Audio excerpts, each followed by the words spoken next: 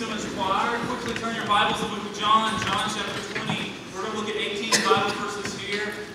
Right before the service started, the 8.30 service had both kids with me. And before the service started, Sherry told me, says, I had some control problems with children. She pulls me aside and said, you know, I've devoted Elizabeth to the nursery because you couldn't watch your children. I was thinking, you know, next Sunday, or not next Sunday, next year, I'm going to have three children, so Derek, I'll be joining that choir, and Elizabeth Sherry can watch Daniel, Elizabeth, and baby number three, unknown name, baby number three, on the front pew up there. So, uh, you know, we're going to look at the story here about Mary Magdalene, how she was a little confused. And yesterday I was a little confused. When you have little children, little people at home, you get confused of reality. I came up here and the Easter egg hunt. And a lot of the guys, Herbert and Clay, were out there putting out Easter eggs. And I walk up. They're telling me they ate some biscuits and gravy and uh, sausage. They were telling me what they ate for breakfast. And I said, guys, I ate empty tune biscuits. And uh, that was where Sherry had cooked these for the kids as a biscuit that's hollow in the inside, so it looks like an empty tune. And they busted out laughing. I thought, oh goodness, and I really lost touch. They didn't think it was funny. They thought, gosh, dude, you really turned changed your words, but hitting empty tune biscuits with that. So that is, anyway, that get a single laugh. But John chapter 20, verse 1. This here is the empty tune, so it doesn't have anything to do with empty tune biscuits, but they did make those.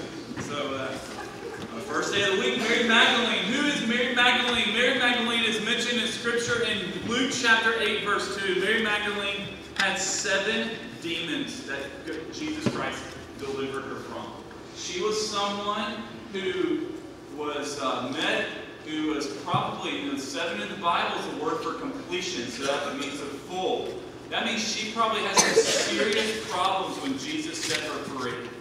She was someone that had uh, issues, and she was healed of her evil spirits, of her seven demons, and here she is in Scripture at the empty tomb. First day of the week, Mary Magdalene came to the tomb early while it was still dark. She saw that the tomb had been removed from the, the stone had been removed from the tomb. So she ran to Simon Peter, and the other disciple, the one Jesus loved, who's John, and said to them, They have taken the Lord out of the tomb, and we don't know where they have put him. At that, Peter and the other disciple went out heading for the tomb. The two were running together, but the other disciple outran Peter and got to the tomb first. John was a faster runner than Peter. Peter started out, but John caught up with him and passed him to the tomb. So we know John can run faster than Peter from the Bible. Verse 5, stooping down, he saw the linen cloths lying there, yet he did not go in. Then following him, Simon Peter came also. He entered the tomb and saw the linen cloths lying there. You know, even though John outran Peter, it was Peter who went in the tomb first. So, you know, that's good. Your name's John or Peter, you know, you can think, well, hey, even though I got outran to the tomb, I went in first. Verse 7, the wrapping that had been on his head was not lined with the linen cloths, but was folded up in a separate place by itself. You know, you think about Jesus, if he was a grave robber that stole his body. Would someone break into your home and then fold your clothes on the way there? Because it said literally the linen cloths were folded there. So we know these were this was something that had to be completely of God that went in there. Jesus was resurrected angel Jesus folded up his laundry and put it back in place. You know, obviously someone wouldn't come steal a body and fold up the grave clothes and put it back together.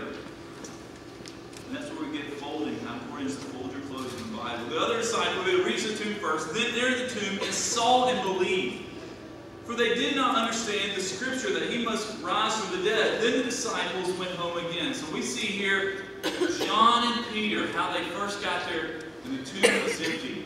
Now look what happens here with Mary Magdalene. Here's the main point we want to get, because I think a lot of us this morning here on Easter can identify her. But Mary stood outside facing the tomb crying. As she was crying, she stooped to look into the tomb. She saw two angels in white sitting there, one at the head and one at the feet where Jesus' body had been lying. They said to her, Woman, why are you crying? Because they've taken away my Lord, she told them. I don't know where they've put him. The irony and what's crazy about this is Mary is crying and talking to an angel and answering their questions. Two angels. It's like Mary is just is completely confused. She doesn't understand the fact that you're talking to and answering angels' questions. Something should be up, Mary, with this. And then look what happens after that. Verse 14, having said this, she turned around saw Jesus standing there, though she did not know it was Jesus. She sees Jesus and doesn't recognize him. Woman, he says to her, why are you crying? Who is it you're looking for? Supposing he was the gardener. Jesus was not confused being the gardener. She, re she replied, Sir, if you've removed him, tell me where you put him, and I will take him away. And then Jesus said, Mary. Turning around, she said to him in Hebrew, Rabboni, which means teacher. Don't cling to me, Jesus told her, for I have not yet ascended to the Father, but go to my brothers and tell them that I am ascending, my Father and to your Father, to my God and to your God. Mary Magdalene went and announced to the disciples, I have seen the Lord, and she told them what he had said to her. We see here this story about Mary Magdalene, a young lady that had been delivered of seven demons a couple of years earlier in Jesus' ministry. One that came to the empty tomb, came expecting to see not an empty tomb, but expecting to find a body lay some flowers at the grave to pay her respects to Jesus. The Sabbath was now over. And Mary was blinded on the first Easter. She was there talking to two angels. And not only that, church, she was actually looking at Jesus and she did not realize what was going on.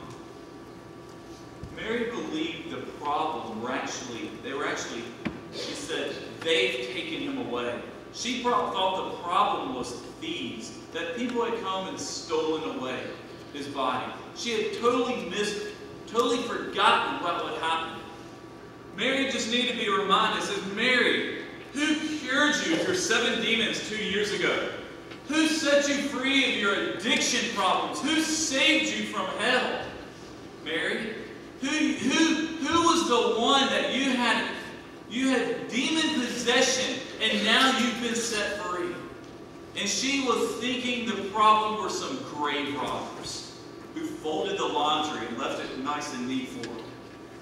And what happens here with Easter with us? Sometimes we come into church or Easter and we're blinded we completely miss what the Lord is doing. Mary's talking to angels, she's looking at Jesus, and she doesn't even realize it. Second, we see here, Mary did not have a large enough view of Jesus. Finally, Jesus said to her, when she didn't realize, He says, Woman, why are you crying? Who is it you're looking for? What more do you need, Mary?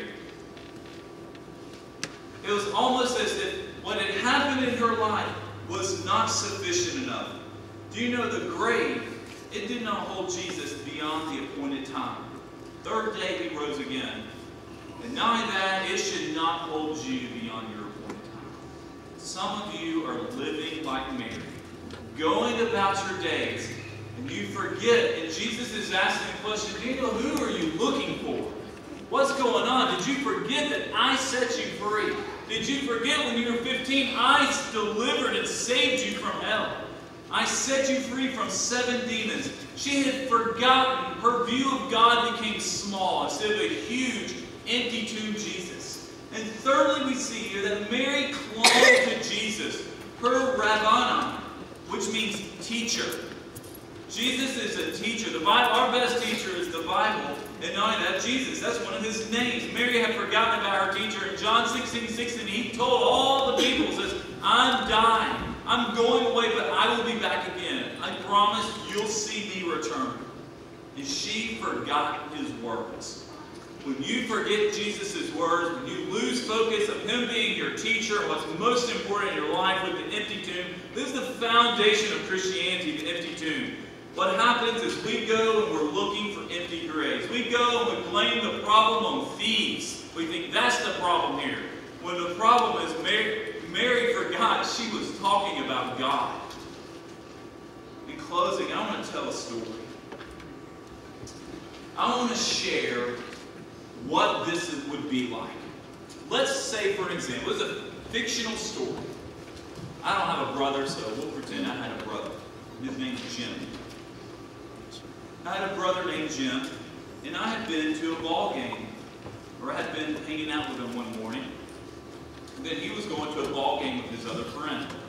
And I knew about that. He was excited about the game. Baseball season started this week, so he we went to a baseball game.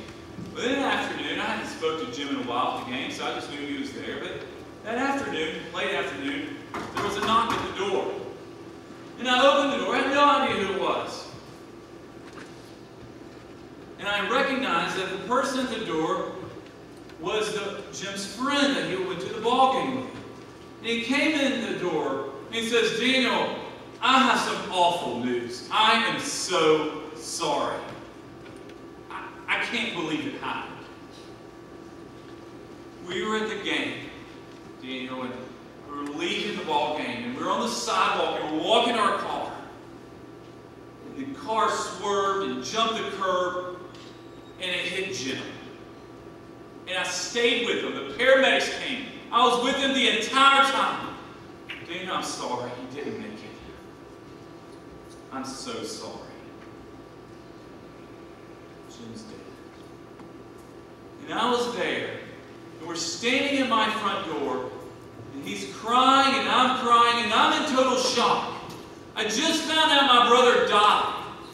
And I had just been with him. I said, no, you know, I just was with him this morning. I just spoken to him a few hours ago. He was excited about the ball game. My friend doesn't know what to tell me at the front door. I don't know what to say. And we're just there, crying, weeping. My brother's dead. Just speechless. Hor horrifying event to happen. Nothing worse could happen, I guess, except you dying. But finding out that the person, that someone who's very close to you, dies unexpectedly. And as we're standing there, we're just speechless, nothing to say, all of a sudden, there's another knock at the door. And I open the door, and there's this other man who I recognize the man. He's one of my other friends. And he says with a loud voice, says, Daniel, I don't know what on earth just happened. I know he was dead, but now he's alive. Jim's alive. I can't explain it, but I know how I know the coroner pronounced him dead, and we started planning the funeral, but you can go talk to him. He's back at his house. And we're standing there, and I was crying because the first knock, and then the second knock, literally my life went from just absolute despair to the door knocked again, and we have no explanation for it. But Jim's alive. Church, that's what happened on Easter morning. Mary shows up, and Peter and John, they were bringing flowers for the grave. They were ready in sadness and horror. Jesus died, a young man, 33 years old, my age. And now he's alive. This morning, we need to be living our lives. You need to be examining our lives if we're stuck living and thinking about a dead Jesus with grave clothes on, making excuses for where he's at. They stole his body. Jesus can't do this. He's not big enough. We have a God that the first knock came and it was horrible news. Three days later, the second knock came, church. And we don't know how it happened. We can't explain it. But all we say is Jesus is alive. He came back from the dead And you are living your life on that first knock with a dead Jesus, this morning, I want to challenge you. This morning at the early service, you know, we didn't have anybody respond to the invitation, but someone at the door was going out the door and says, Daniel, I need to get saved. I've been following a dead Jesus. I've been like Mary, just going around moping. When we have an empty tomb, Jesus. Let's bow our heads and pray. Jesus, we thank you for the empty tomb.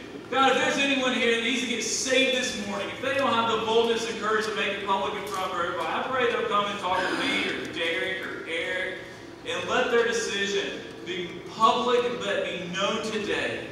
Lord, you gave two knocks. The first knock was hard. The second knock, we can't explain it, but you're alive. There's an empty tomb. Lord, if there's no, if there's some people here that have never been saved, I pray during our invitation we have. As we we looked at your word, we've heard the word through song. I pray that we will give our lives to you because you conquered death. even when the coroner said he's dead. And the centurion looked at him and shoved his spear up his side.